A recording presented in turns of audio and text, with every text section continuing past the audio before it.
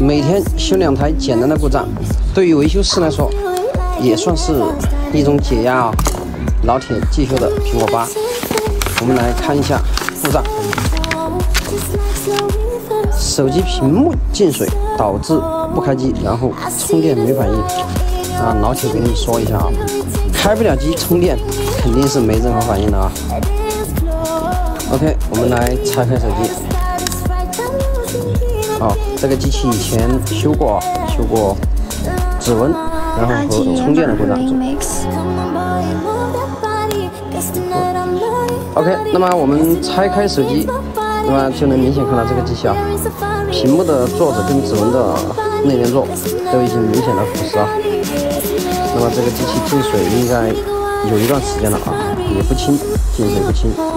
那么对于不开机的问题，我们首先肯定是看电流，那么加上文阳电源啊，惊喜来了啊，看到瞬间心情大好啊，家电打表。那么对于家电打表，我们的维修步骤啊，先测量啊，第一段和第二段，那么一般都是第二段短路，那么测量第二段为接地的状态。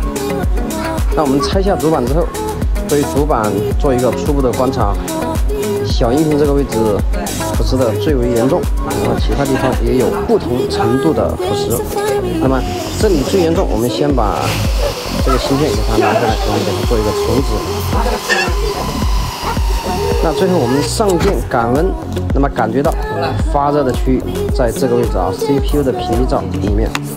那我们来拆开屏蔽罩。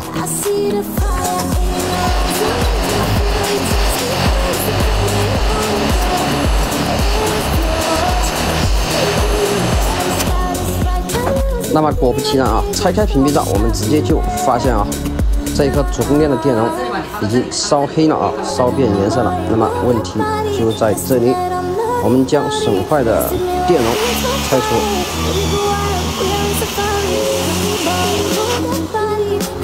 OK，那么拆除之后，我们再次上电，那么再次上电，就已经不漏电了啊。手机进水导致一颗电容损坏短路引起的不开机。OK，那么取掉之后，我们装机测试啊。那么将主板装回机壳里面，装上屏幕，我们再次开机测试啊。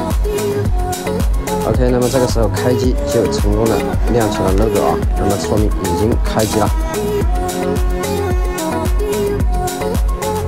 记录系统啊，完美啊，非常简单的问题啊，每天修几个，属实比较解压啊。其实维修师的压力也很大的啊，比较伤脑伤神。其实最重要的还是比较伤身啊。